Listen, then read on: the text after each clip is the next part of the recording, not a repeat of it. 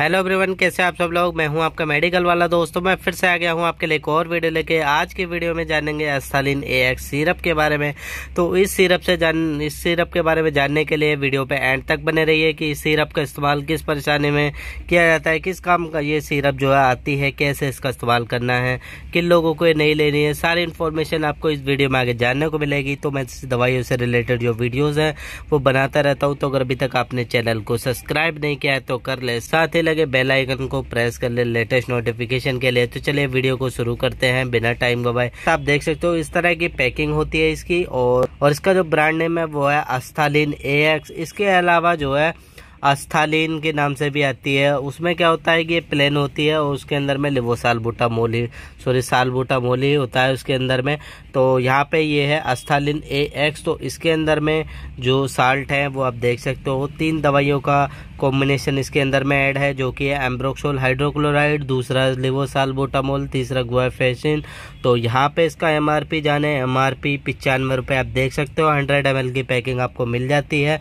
यहाँ पे इसकी क्वांटिटी भी दी हुई है तो वो भी एक बार जान लेते हैं। तो एम्ब्रोक्सोल है, वो तीस एम जी लिवोसाल बोटामोल वो वन एम जी है, और गुआफेंसिन जो है, वो है फिफ्टी मिलीग्राम तो इस तो आइए जानते हैं कि इनका काम क्या होता है, कैसे काम करते हैं, किस परेशानी में काम करती है।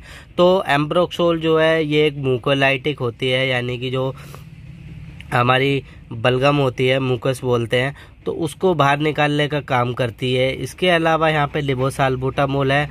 इसका क्या काम होता है कि ये जो हमारी सांस की नली होती है, उसको जो है क्लियर करती है ताकि सांस लेने में जो परेशानी हो रही है, वो परेशानी ना हो। आपको जो सांस है वो क्लियर आए एकदम।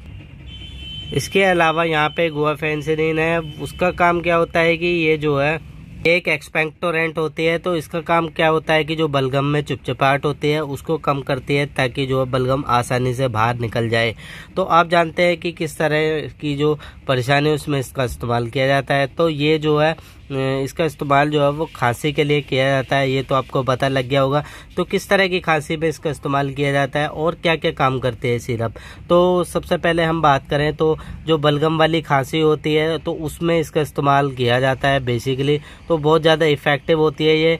यदि आपको बलगम वाली खांसी हो रही है और खांसी के साथ में जो है बलगम निकल रही है, या फिर जो है धसके के साथ में खांसी होती है, या फिर जो है आप जब सोते हो तो सोते टाइम जो है आपको खांसी होती है और धसका सा उठता है। तो उसमें जो है, उस परेशानी में इसका इस्तेमाल आप कर सकते हो। बहुत ही बेटर रिज़ल्ट आपको मिलेगा। बहुत बेहतरीन दवाई है। इसके अलावा जो है, यदि सांस लेने में परेशानी हो रही है या फिर आपका जो सांस फूल रहा है तो उस कंडीशन में भी बहुत अच्छा काम करती है ये।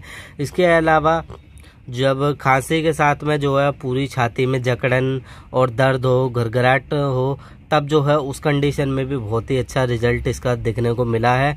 तो इस तरह की जब परेशानी हो तो आप कर सकते हो इसका इस्तेमाल। तो डॉक्टर की सलाह के अनुसार इसका इस्तेमाल करें तो आपको काफ़ी ज़्यादा अच्छा रिज़ल्ट मिलेगा और जो है साइड इफ़ेक्ट से भी आप बच पाओगे। तो साइड इफ़ेक्ट जान लेते हैं साइड इफ़ेक्ट क्या क्या देखने को मिल सकते हैं। तो इसके जो साइड इफ़ेक्ट है, लाल दाने, चकते होना, खुजली होना, सर में दर्द होना ये कुछ साइड इफ़ेक्ट आपको देखने को मिल सकते हैं। आप जानते हैं इसकी जो डोज़ है, वो डोज़ क्या रहती है? तो यदि बच्चा है तो बच्चे के लिए जो है इसकी जो डोज रहती है, वो ढाई ढाई एम रहती है। बाकी की कंडीशन के ऊपर और पेशेंट की एज के ऊपर जो डिपेंड करती है तो यदि बच्चा है पाँच से सात साल का तो उसको ढाई ढाई एम दिन में दो बार या तीन बार तक दी जाती है। और अडल्ट के लिए जो है इसका इस्तेमाल वो दस दस एम सुबह शाम या फिर दिन में तीन बार तक भी कराया जाता है। वो भी कंडीशन के ऊपर। यदि आपकी ज़्यादा कंडीशन ख़राब है तो जो है तीन बार तक इसका इस्तेमाल कराया जाता है। और कई जो है, कई कंडीशन ऐसी होती हैं कि गर्म पानी के साथ में भी फिर जो है ये सिरप दी जाती है। तो प्रेग्नेंट महिलाएँ ब्रेस्ट फीडिंग वाली महिलाएँ जो हैं, वो डॉक्टर की सलाह के अनुसार लें। और किन लोगों को ये नहीं लेनी है, किन लोगों को सावधानियाँ बरतनी है इससे? तो जो लीवर किडनी से संबंधित जो पेशेंट हैं या फिर जो है जिनको इस तरह की जो दवाइयाँ होती हैं, उनसे एलर्जी है तो वो जो है डॉक्टर की सलाह इसमें ज़रूर से लें। जो लोग अल्कोहल का सेवन करते हैं, वो भी इसको अपनी मर्ज़ी से ना लें, डॉक्टर की सलाह ज़रूर से लें। तो इस वीडियो में इतनी ही जानकारी थी। तो ये थी आस्थालीन ए के बारे में सारी जानकारी। यदि आपको वीडियो पसंद आई हो तो वीडियो को लाइक करें, चैनल को सब्सक्राइब करें। मिलते हैं किसी नेक्स्ट ऐसी अच्छी सी वीडियो में। तब तक के लिए टेक केयर बाय बाय